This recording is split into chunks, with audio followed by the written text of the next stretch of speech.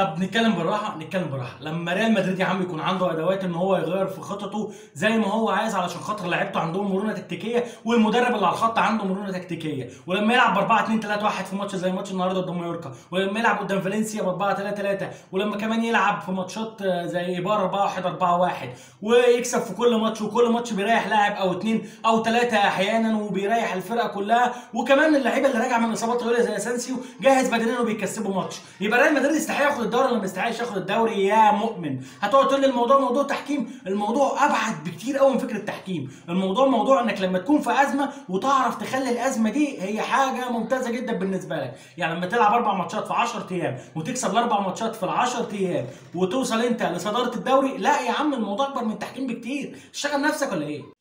بس ده ما يمنعش إن الجون الأول فاول برضه على داني كارفاخال. بص أنا عارف أنا التيتا ده وعارف أنا هو ممكن يكون فاول على داني كارفاخال متفق معاك ممكن يكون الحكم غلط فيها ولما اتعادت ودخلت جون بقى مضطرين إن هم يحسبوها عشان خاطر ما عندهمش استعداد يخبطوا في أي حاجة علشان ده ماتش ريال مدريد قدام مايوركا ومايوركا فرقة بتهبط والكلام ده. الحسابات دي موجودة في كرة القدم. وبتلاقي في ضربات جزاء تحس إن برشلونة بص الكلام ده موجود في كرة القدم بالنسبة للفرق الكبيرة. فلو قعدت تشتغل نفسك وتبص على كل خطأ تحكيم بيستفاد بيه. الفريق الكبير هتلاقي إن في حاجات كتيره قوي. بس انت بقى لازم تفكر الموضوع ماشي إزاي.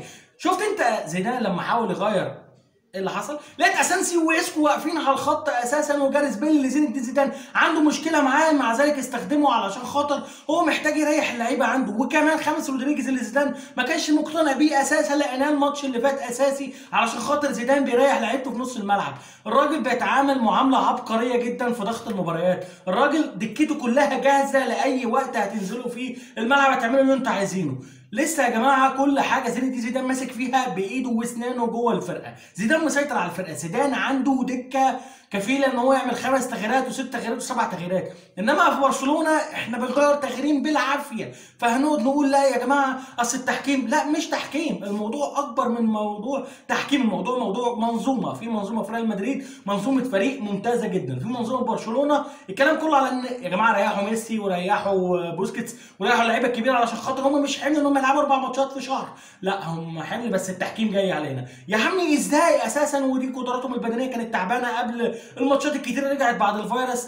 فمش هي مش هيعرفوا يأدوا الأداء اللي انت مستنيه منهم. لا هو التحكيم عايز ريال مدريد ياخد الدوري. أصل بيكيه كان بيقول كده. يا ابني ما هو بيكيه عنده مشكلة في التعامل مع الأربع ماتشات دول علشان خاطر بيكيه بدنيا زي الزفت أساسا فلما يلعب مع أربع ماتشات. متلاحمه كل ثلاث ثلاث أيام ماتش هتلاقي إن بيكيه زي الزفت فهيدي أي تصريح وهيخليك انت تقفش فيه. قعدت اتفرج النهارده على ماتش ريال مدريد وريال مايوركا. بذمتك مهما الجون الأول كان كان وقته اتأخر. ما كانش هيتم إحراز الهدف الأول. كنت تلاقي إن ريال مدريد هيجيب الثاني والثالث بس انت بقى لا انت مصمم ان الحكام بيخدموا ريال مدريد. لا يا معلم بجد الموضوع أكبر من موضوع حكام. يا جماعة لا.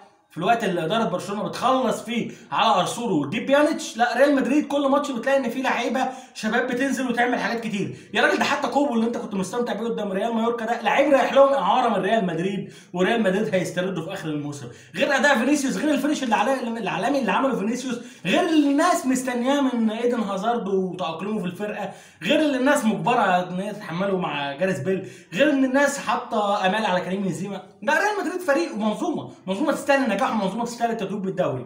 غير إن هم بصراحه ربنا النهارده كانوا ممتازين جدا جوه الملعب. حتى هم بيلعبوا 4 2 3 1 وإيدن هازارد بيلعب مهاجم تاني أوقات. واوقات بيلعب صانع لعب المراكز اللي هازارد بيحبها. إحنا بنكيف كل حاجة علشان خاطر إيدن هازارد. أدواتنا تسمح لنا لعيبتنا تسمح لنا. مدربنا عنده مرونة تكتيكية. الدنيا بالنسبة لهم في ريال مدريد متظبطة آخر كلام. وكل حاجة بالنسبة لهم سالكة. حتى الماتشات اللي باقيه ممكن تلاقيها ماتشات سهلة نوعا ما عن ماتشات برشلونة.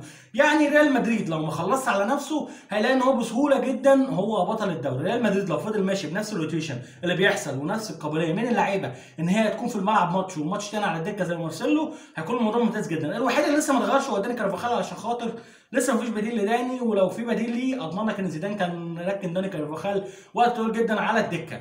ريال مدريد يستحق إن هو يكون بطل الدوري السنة دي. سيبك من كلام كتير قوي بتاع الحكام والكلام ده لأن لو دخلنا في الحكام هنلاقي إن إحنا مش هنعرف نخرج. ريال مدريد ممتاز جدا جوه الملعب.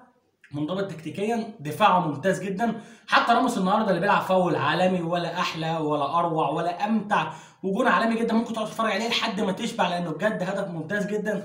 ريال مدريد يستحق إن هو ياخد بطولة علشان خاطر دي منظومة تستاهل إن هي تكون ناجحة وتستاهل إن هي تتوج في النهاية ببطولة وبلقب ويثبت النجاح اللي كان حاصل جوه الملعب ده. زيدان ممكن يكون عنده مشاكل كتير بس ممكن تكون واحدة من الميزات اللي فادت زيدان هي توقف النشاط ورجوع النشاط في ماتشات مضغوطة في حين إن منافسك الرئيسي في الماتشات المضغوطة عنده مشاكل كتيرة قوي في الدكة وعنده مشاكل كتيرة قوي في جودة اللعيبة الاحتياطية عن اللعيبة الأساسية. إنما أنت في ريال مدريد اللعيب الاحتياطي بيتنافس مع اللعيب الأساسي على المركز الأساسي جوه الملعب والاثنين مفيش فروقات كتيرة قوي ما بينهم وبين بعض. فبتلاقي إن اللعيب اللي على الدكة لما بينزل جوه الملعب ما بتلاقيش إن أنت حاسس إن في أي انبهار حصل أو أي حاجة لأن هو نفس المستوى هو هو نفس الأداء وهو نفس الأسلوب اللي بيفرق بس شوية تفاصيل وحاجات بسيطة ما بين اللعيبة. يعني مثلا فيدريكو فالفيردي النهارده كان ممتاز وهو بيلعب defender. أوقات كتيرة جدا كنت بتلاقي إن كازاميرو ممتاز وهو بيلعب defender بس النهارده لو حطيت مكانه فيدريكو هتلاقي إن الموضوع مش مختلف كتير خصوصا يعني ده ماتش قدام مايوركا ومش هيبقى فيه هجوم كتير جدا. مايوركا الفرقة اللي غالبا كده هتهبط رسميا آخر السنة. ففي حاجات كتيرة جدا كانت مسهله على ريال الماتش وفي حاجات كمان مسهله على زين الدين زيدان اللي هو بيعمله زي جودة اللعيبة اللي عنده على الدكة وزي التنافسية والروح العالية جدا اللي موجوده جوه الفرقة. لا فرقة تستحق إنها يعني تتوج ببطولة. وأنا برشلوني بقول لك الكلام ده وأقول لك للأمانة هم يستحقوا إنهم ياخدوا الدوري السنة دي علشان خاطر هم الأجهز وهم ال- الامتع وهم اللي بيتطوروا كل ماتش والتاني وهم اللي ممكن الماتشات والمكسب يديهم ثقة. عندك انت انت بتكسب وانت مع ذلك الثقة عمالة تروح بص مش هنتكلم في برشلونة ان ده حكايه وحواديت تانية خالص. ألف مبروك لكل مدريدي على الصعود المنصه رقم واحد في إسبانيا وإن إحنا أخيرا نصدر الليجا بعد ما صدرناها امبارح والتصدر اللي بيتغير كل 12 ساعة ده. ألف مبروك يا صديقي مش تخسر حاجة لو عملت like لأخيك هذا ولن تخسر شيء. ان دعمتنا وعملت subscribe